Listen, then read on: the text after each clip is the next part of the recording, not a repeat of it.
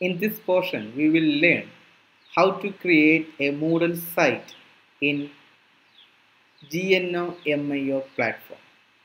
So what's the importance of this GNOMIO platform? We have already discussed the merits of Moodle. It's an open source software, so it's free. However, you require a physical server or a cloud server for hosting this Moodle software. So the cost of its installation in cloud server is very large. Suppose a college which is having more than 1500 students, we need to expect more than 500 concurrent users. Concurrent users means the number of users uh, enrolled in a course at a particular time. For installing that, we require a cloud hosting server, 50 GB data transfer per month which demands a rental fee of around 1800 per month. It is very huge. So normal colleges will find it difficult to meet this account or meet this amount. So two options are there. One thing government government should provide a separate grant need to meet these expenses. Second it is easy. Go for moodle dedicated free online service so free online surveys are available.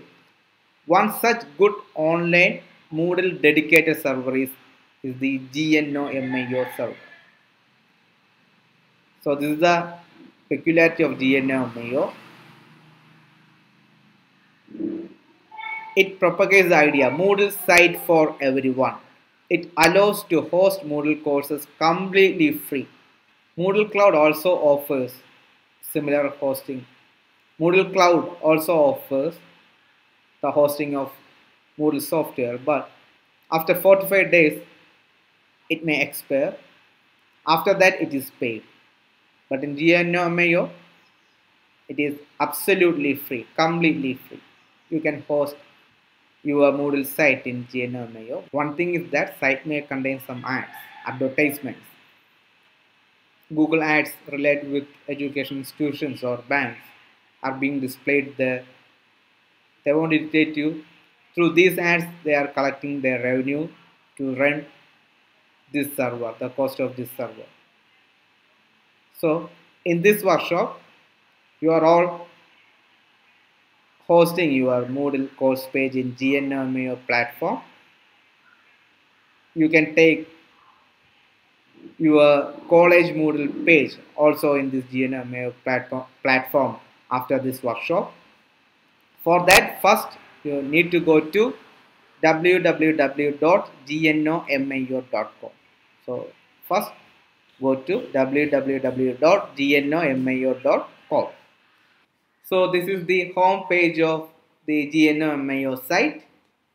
Here you can see an option where you need to provide the site name which you require. I'm typing this one as Rakesh sb.gnomio.com then type the your email address. You will receive a mail confirming the registration of your site. I have then tick this one. Create site after some time you will receive a mail. Okay we can wait. I have received the mail now. You can see the instructions.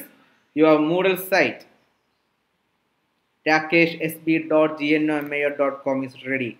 Please don't prepend www which means while typing this address in the address bar don't type www prior to rakeshsb.gnomio.com just type rakeshsb.gnomio.com without including www. So login informations are there. So I am clicking this my new GNOMIO site. So my site is ready. So everyone need to create a GNOMIO site like this with your desired site name. So in the address bar you have you need to type your site name dot gnomio.com only. So in the site page, you can see a login information. right top corner here just click that click in that so the username I am repeating the username is admin so in the mail it's a it is displaying that username is admin. You can see here. Username is admin and the password is there. So I need to type my username as admin and password I am copying from the mail. So care should be taken. Don't include that space there. Only characters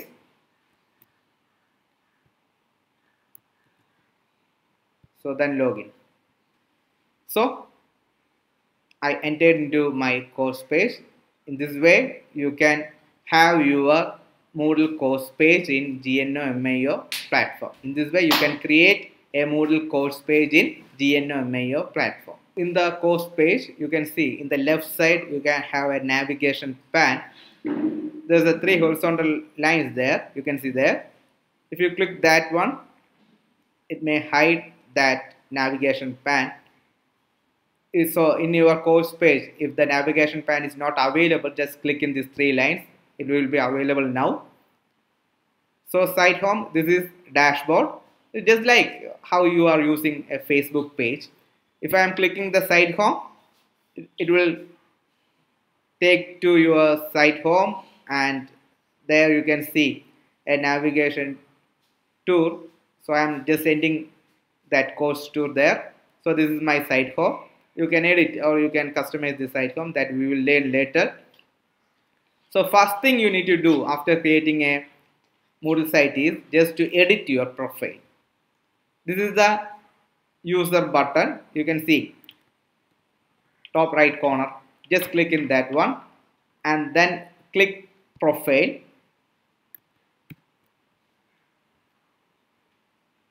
So it is very important. First you need to edit your profile. Then edit profile. So username admin so here I am giving my new password. So while giving new password, care must be taken that it must have at least 8 characters. The direction is given here. It must have at least 8 characters, 1 digit, 1 lowercase, 1 uppercase, 1 alphanumeric character, etc. So your password should contain all these characters. So first name you can change. From admin to I'm changing to my name. Rakesh. So surname my initial so email address is there. Select your country. So I'm selecting India here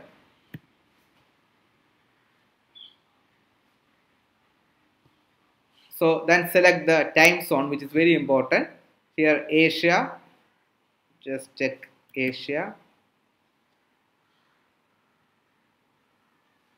Yeah, Asia, Kolkata is the time zone for us. So Asia, Kolkata, because why this is important? Unless, unless if you do this settings, you can't schedule your exam time or assignment time.